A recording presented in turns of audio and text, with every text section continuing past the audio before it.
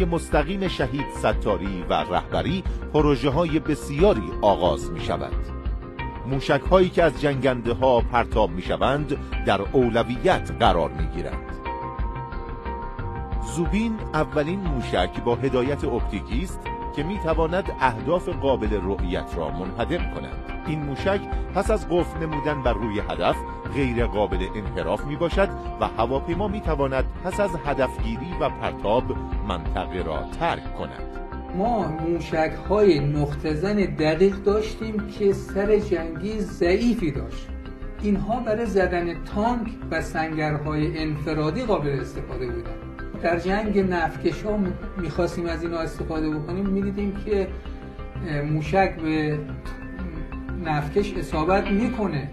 ولی اتفاقی نمیفت یعنی نفکش به راهش ادامه می‌داد. ما مجبور بودیم از راه های دیگه وارد جنگ نفکش ها بشیم. برای بچه های متخصص نیرو هوایی که بعدا جذب شبکه خودکفایی شدن این نیاز همیشه در ذهنشون در واقع بود که کاش بتونیم سلاحی بسازیم که در جنگ و برای زدن هدفهای بزرگ کارساز باشه. خب برای ساخت یه موشک یا بمب هوشمند نقطه زن با سر جنگی سنگین شما می‌دونید که دفترهای طراحی آنچنانی می‌خواد و کارخانجات ساخت بمب آنچنانی ما این کارو که نکردیم. ما از راه های میان بر و با استفاده از زیر های موجود و تجهیزات و وسایل موجود استفاده کردیم. ما اومدیم از سیستم و سامانه کنترل و هدایت موشک مدرگ استفاده کردیم. ما اومدیم از بمب 2000 پوندی موجود استفاده کردیم و بر اساس این موجودی همون اومدیم در واقع یک بمب هوشمند مختصنی طراحی کردیم که بتونه در واقع دقت و هدفگیری دقیق و هدایت خوب داشته باشه و در ضمن سر جنگی سنگین و موثری برای مثلا قطع کردن کشتی کنی داشته باشه. بنابراین ما اومدیم از پروژه زوبین رو تعریف کردیم. 750 پوند که میشه حدود 320 کیلو در واقع وارهد ما یک موشک مختزن دقیق و هوشمند ساخت یه روزی دوستان یک پروژه رو تحت عنوان پروژه پروژه موشکی رو تحت عنوان پروژه زوبین آوردن که اونجا تست بکنیم. تست هم به این شکل بود که یک هدفی رو در رنج تیراندازی یا میدان تیر پایگاه ما که در جاده سابه است یه هدفی رو درست می‌کردیم. بعد هواپیما از دوازده کیلومتری باید این موشک رو رها می‌کرد و این موشک مستقیم باید میومد طرف این هدف. هدف مثلا ابعادش 5 متر ده متر یک همچه چیزی بود. داربستی بود روشم پارچه کشیده بودیم که بایستی میاد این نقطه سفید رو می‌زد. من یادم در اواخر شاید یا اواسط پاییز بود. از آن اومدند و بعد ما هواپیما رو آماده کردیم و موشکی که طراحی شده بود روی این هواپیما گذاشتیم و به خلبان گفتیم شما برو چند بار تست بکن. قفل باید می‌کرد تلویزیونی بود این موشک هدف یابش قفل باید می‌کرد. بعد این وقتی که پرواز می‌کرد به طرف هدف بعد این قفل نگه داشته می‌شد. خود سیستم باید قفل نگه میداشت که بعد بگه آقا من تمرین کردم آمادم.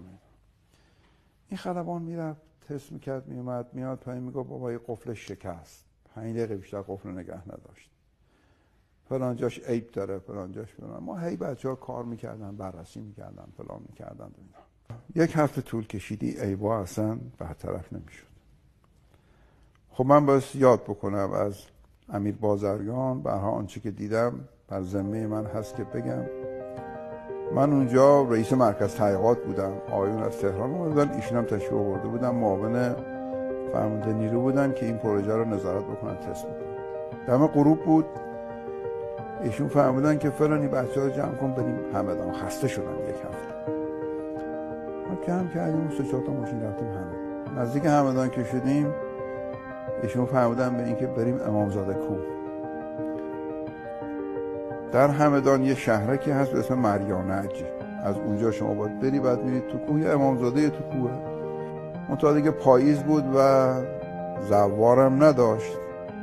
ما رفتیم و خادم امامزاده رو پیدا کردیم. بنده خدا اومد در امامزاده رو باز کرد. که تاریک شده من نگاه می‌کردم هر کدوم از دوستان یه گوشه ای متوسل بودن گریه می‌کردن. فردا صبح شد خلبان رفت پای هواپیما و ما هم رفتیم طرف میدان تیر سام. هواپیما از پایگاه بلند شد اومد. در راید اول که روی هدف اومد از دوازده کیلومتری خلبان گفتش که من هدف رو خیلی خوب دارم. شارپ قفل رها نمی‌کنه. گفتیم حالا راید دوم. در راید دوم به همین ترتیب. راید سوم از 15 کیلومتری قفل کردن. آیا رها بکنم به قول خلبان پیکر کنم؟ اومد به دوازده کیلومتر گفتم آقا پیکر. موشک اومد رها شد از هواپیما موتور روشن شد. دقیقا اگه شما به علاوه میذاشتین روی اون هدف پنج درده وسط هم. بعدها من از این بزرگوار این بازرگان سوال کردم که خب این پروژه های ما اون دکتر محقق بود اون خلبان بود. کارشناسا همه بودن. اونی که نبود و خدا بخواد به ما بگه که آقا دقت بکنید اون گریه نبود. یه هفته اون توسله نبود.